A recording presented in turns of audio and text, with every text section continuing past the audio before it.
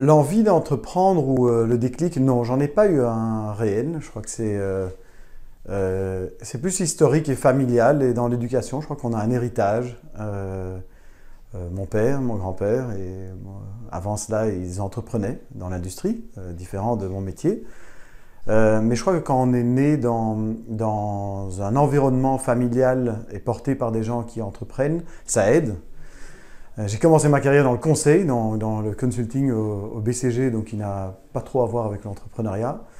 Euh, mais mon père m'a de nouveau euh, dit vers 28-29 ans, ça marche très bien, mais veux-tu vraiment continuer dans le conseil? C'est ta vocation ou tu voudrais essayer autre chose?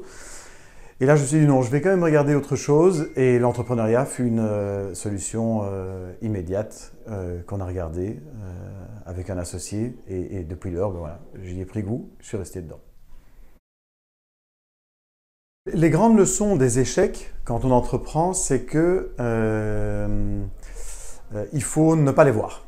je crois que la grande leçon, mon associé dit souvent, que les bons entrepreneurs, les bons fondateurs, parmi ceux avec qui on travaille, ils ont une capacité à distordre la réalité, euh, voir le positif euh, au-delà du négatif. Quand on entreprend, on n'a que des vents contraires, souvent. Euh, et donc être capable de vivre ses échecs positivement, prendre le positif de quelque chose qui n'a pas fonctionné et rebondir d'autant mieux, c'est plutôt ça que j'en retiens. Oui, il y a toujours des vents contraires, je crois qu'il n'y a personne qui a entrepris tout dans un long fleuve tranquille. Donc euh, euh, prenons ça comme une courbe d'apprentissage. Alors, quand on, s'associe euh, pour créer une entreprise, donc j'ai un modèle très atypique, je m'associe et donc je, je, suis un récidiviste entrepreneur et donc quelqu'un qui de manière récidiviste s'associe avec d'autres personnes.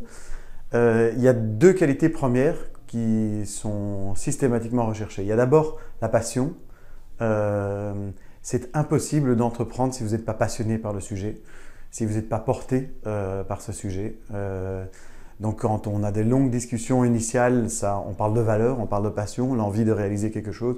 On est parti pour 8, 10, 12 ans minimum. Ce n'est pas un emploi, c'est une vocation.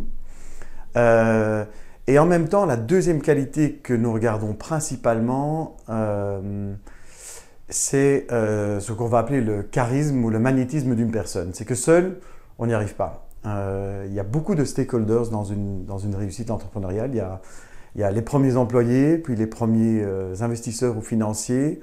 et c'est tellement pilier dans une entreprise pour réussir qu'il faut être capable de les attirer et d'attirer les meilleurs.